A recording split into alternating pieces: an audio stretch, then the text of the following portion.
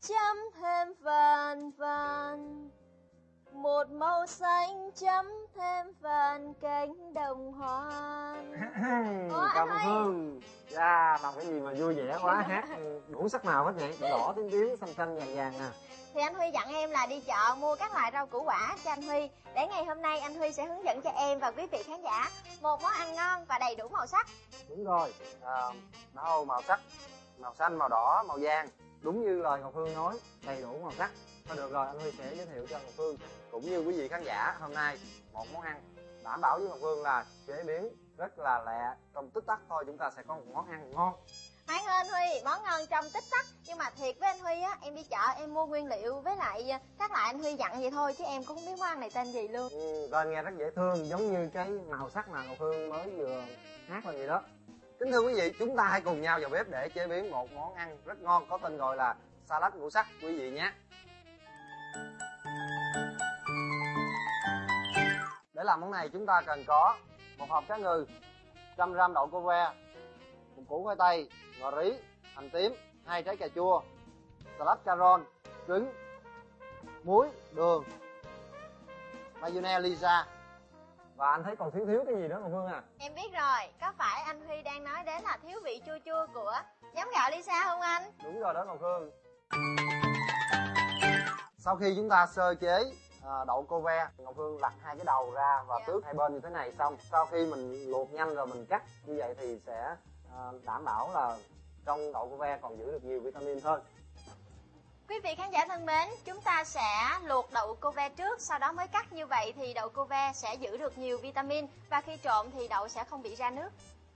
trong lúc chờ đợi ờ, nước sôi thì ờ, củ khoai tây này anh Huy đã luộc rồi và làm nguội. Bây giờ chúng ta cắt khoanh. Salad cắt đoạn ngắn khoảng 3 cm là được rồi. Cà chua thì Ngọc Hương sẽ cắt ra những cái múi cao nhỏ nhỏ. Sau khi cắt xong em bỏ hạt ra. Anh Huy ơi, nước sôi rồi nè. Rồi nước sôi anh Huy sẽ cho toàn bộ đậu cô ve vô Dạ. rồi Ngọc Hương nhớ là đậu cô ve này mình trụng phải thật là nhanh để đậu cô ve được xanh Dạ. và sau khi trụng xong là giống như thường lệ anh em mình ngâm qua nước lạnh Dạ. ha bây giờ anh sẽ đập dập sơ cô ve này chúng ta sẽ cắt xéo xéo trước khi chúng ta lọt trứng thì phải đập cho nó bể hết cái vỏ để dễ lọt đúng không? Đúng rồi. chắc là phải làm cho cái ờ, trứng gà này nó chóng mặt một lần nữa. Huy sẽ đập cho nó bể trước nè. Rồi dập ra rồi. Bây giờ ngọc hương lọt cho anh nữa rồi. Thôi Dạ. đồng ý không? Trời, cái chiêu này mà anh Huy cũng nghĩ ra nữa. trong thời gian ngọc hương lột trứng thì tôi sẽ giới thiệu cho quý vị cách chúng ta làm sốt để trộn cái salad này chúng ta sẽ sử dụng phân nửa dầu từ trong cái hộp cá ngừ. Phân nửa lượng cá ngừ nửa muỗng cà phê muối nửa muỗng cà phê đường. Mayonnaise lisa chúng ta sẽ sử dụng hai muỗng canh. Tiếp theo là nửa muỗng canh giấm gạo lisa thêm một muỗng canh nước vô ha. Ngọc hương ơi à, chúng ta có thể à, sử dụng máy xay sinh tố nè để xay cho cái sốt thật là mịn. Nhưng nếu mà quý vị nào chúng ta không có thời gian và chúng ta cần làm nhanh thì chúng ta có thể dùng muỗng để tán sốt ra hoặc là dùng cây đánh trứng để quậy đều sốt ra cũng được À hay quá, như vậy là có thật là nhiều sự lựa chọn. Nếu như quý vị khán giả không có thời gian thì chúng ta vẫn có thể sử dụng cây đánh trứng để hòa tan cái hỗn hợp này. quý vị ơi chúng ta chỉ cần chưa tới một phút nữa sau khi trộn đều các thành phần lại với nhau là chúng ta sẽ có được một món salad với đầy đủ màu sắc rất hấp dẫn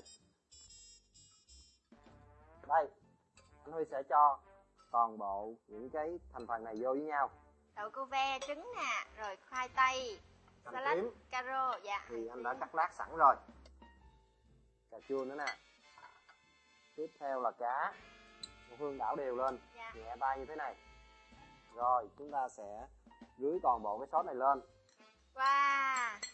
Mà em nghĩ với cái sốt mà anh Huy à, vừa hướng dẫn cho em cũng như quý vị khán giả thì đảm bảo món ăn này sẽ rất là hấp dẫn đây.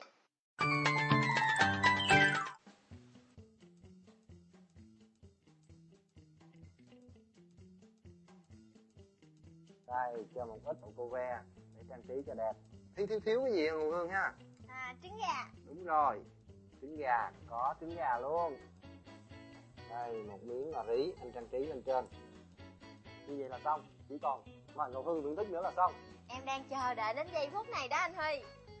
một miếng cà chua ha trứng nữa nè mời em. Cảm ơn Huy.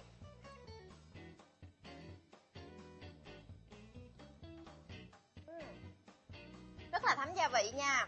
Mà đặc biệt á là sốt Mazone Lisa có sốt trứng gà tươi hòa quyện với món ăn này làm cho món ăn này vào những ngày hè nóng nực ăn thì rất là mát và nhiều vitamin trong các loại rau củ quả Món ngon. trong tích tắc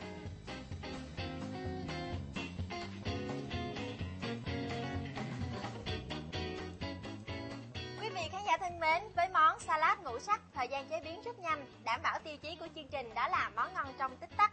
Chúng tôi hy vọng đã mang đến cho quý vị cùng với gia đình của mình một món ngon thật là hấp dẫn để tất cả chúng ta cùng quay quần ăn cơm với nhau đúng không ạ? Đừng quên chia sẻ với chương trình Món ngon mỗi ngày ở hộp thư số 1 Bưu điện Long Bình Tân, Biên Hòa, Đồng Nai hoặc gọi điện thoại đến trung tâm tư vấn khách hàng của công ty Ajinomoto 061 882 6188. Thời lượng dành cho chương trình đã hết rồi. Ngọc Hương và Anh Huy xin được chào tạm biệt và hẹn gặp lại.